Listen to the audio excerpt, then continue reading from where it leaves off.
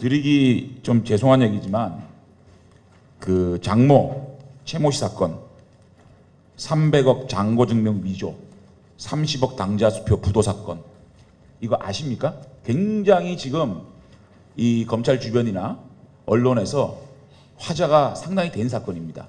그리고 언론에서 뭐 질문도 간 걸로 알고 일부 뭐 답변도 한 걸로 알고 있는데 아, 내용은 좀 아십니까? 전혀 모릅니다. 예? 전혀 저- 전혀 모르세요? 네.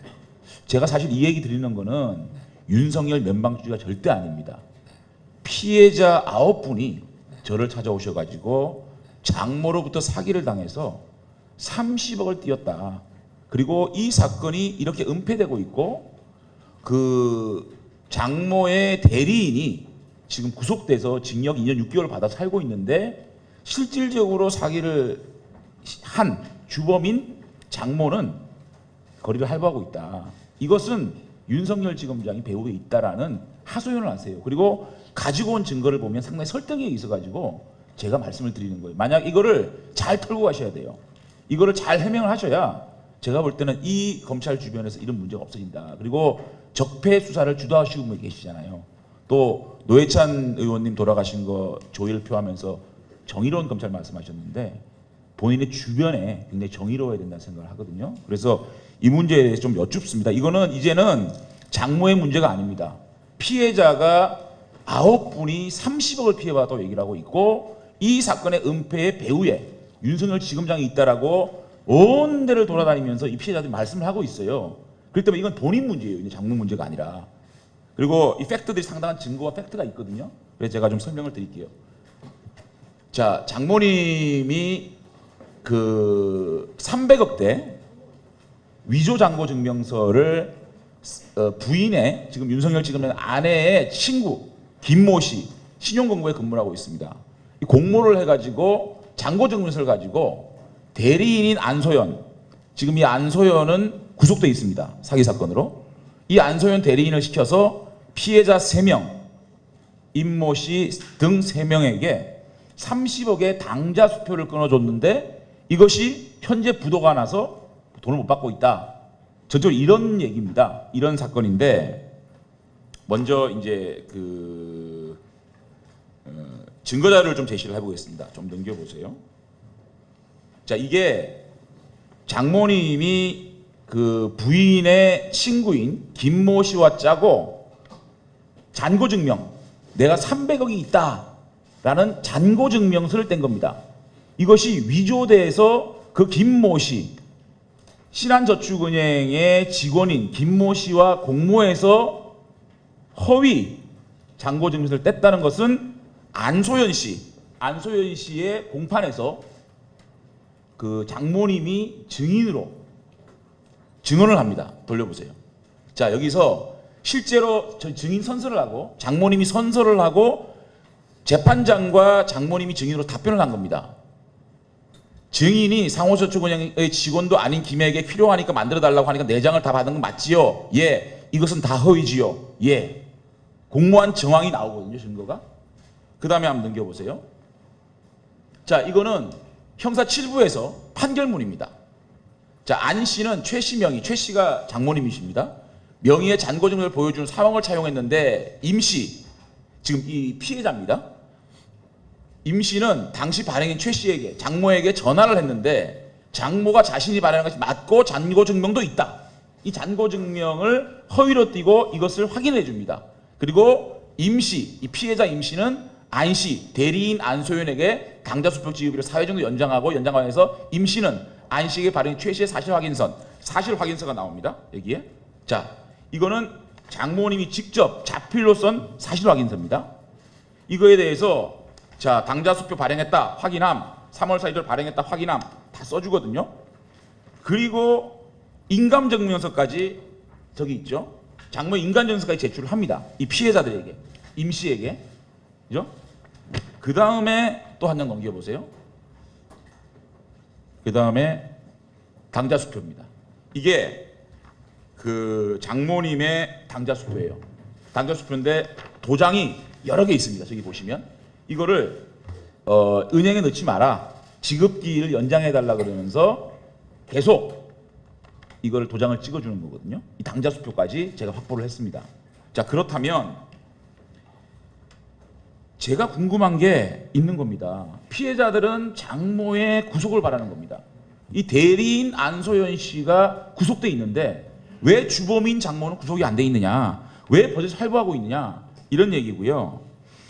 이 장모께서 2012년도부터 내 사위가 윤석열 고위 검찰이다라고 얘기를 했다는 겁니다. 그러니까 저는 도대체 이 잔고 증명을 위조했다는 것은 법원에서 밝혀진 사건인데 이거를 왜 수사를 안 하나? 이거를 박진아 검사가 지금 하고 있다는데 박진아 검사가 중앙지검 박진아 검사라고 있죠. 있습니다. 있는데 이분이 이거를 수사를 안 하거든요. 두 번째는 당자 수표 30을 끊어줬는데 이게 부도가 났는데 이 당자 수표의 주인인 장모가 왜 이게 형사적 처벌을 안 받느냐?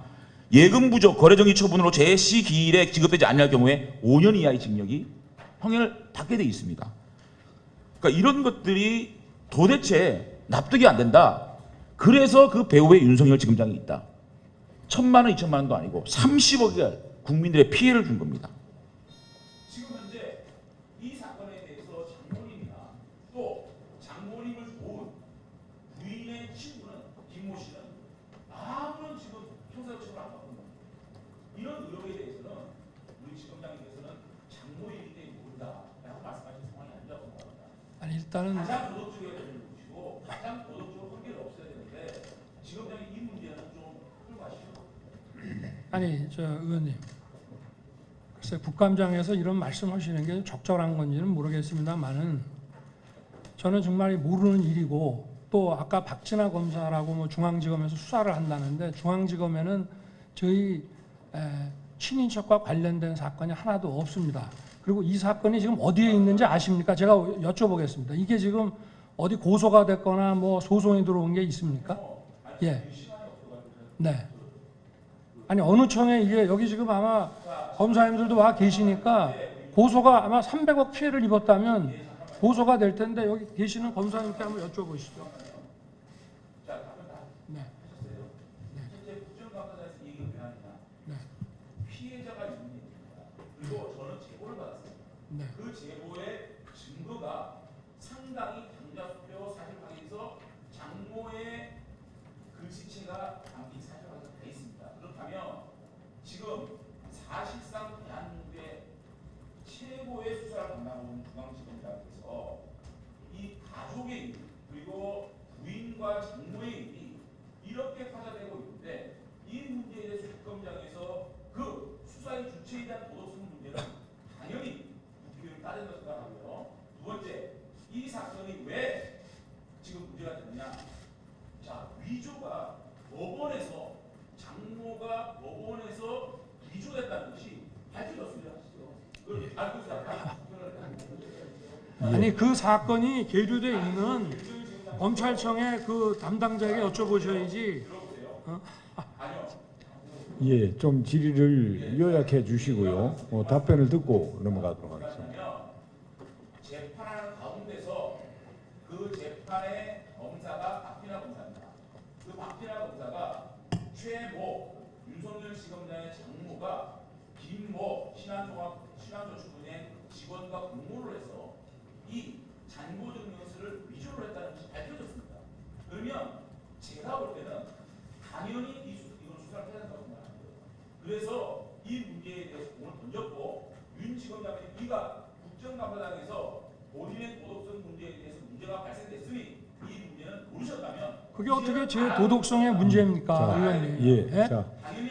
아니 자, 제가 그- 관련이 돼 있다는 뭐 증거가 있습니까? 300억의 300억의 우리 아니 그건 피해자가 고소를 하면 될 거 아니겠습니까? 어? 아니 아무리 국감장이지만 이건 좀 예, 예, 너무하신 예. 거 아닙니까? 예, 질문은 됐습니다. 예, 예, 질문은 그것으로 끊고요. 나중 추가 질의 때 보충을 하시도록 하고 그 질문에 대해서 어, 검사장님 답변하실 게 있으면 하십시오. 아니 이게 국감장에서 정말 이게 어? 아니 그리고 몇십억의 피해를 입은 사람이 있다면 당연히 그 사람이 어, 민사소송을 걸든지 형사 고소를 할 텐데 저는 그 사건이 어디에 있는지도 모르고 내용을 모릅니다. 그러면 예, 좋습니다. 어? 신동아에 뭐가 났다고 우리 직원이 갖고 왔길래 저는 안 받습니다. 예. 어? 그러면 그 해당 검찰청에 왜 수사가 안 되냐 이렇게 물어보시든가 해야 되는 것이지. 어? 이건 좀 너무하신 거 예, 아닙니까? 예, 예. 예, 좋습니다. 예. 예, 예. 예, 저 예. 예, 저 죄송하지만 지금 제가 예고해 드린 오전 질의 마감 시간이 거의 다 됐고요. 난중 난중 저 오후 질의 시작하면서 기회 드리겠습니다.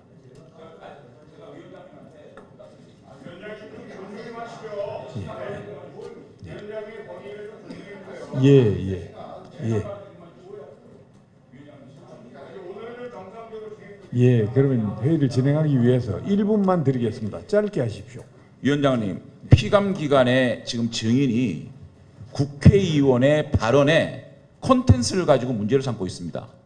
저는 이건 엄중하게 경고를 해야 됩니다. 저 제가 이 자리에서 윤석열 지검장의 도덕성 문제, 그 주변에 도덕성 문제를 하든지 아니면 중앙지검의 문제를 문제를 삼든지 어떤 문제, 어떤 주제에 대해서도 제가 피감기관 장에게 증인에게 질문할 수 있고 그 내용에 대해서는 충실히 답변해야 될 의무가 있는 것이 증인입니다. 그런데 국회의원의 발언의 내용을 가지고 이것을 국정감사 해야 되느냐라고 반박하는 증인의 태도는 도저히 용납할 수 없는 태도입니다. 이거는 문백하게 이 국회의원의 질문한 데 대해서 어떤 상황인지를 답변해야지 국회의원의 질문하는 국정감사에 질문한 내용을 문제 삼는 것은 굉장히 오만 물순한 태도라고 생각합니다. 위원장님 경고해 주시기 바랍니다.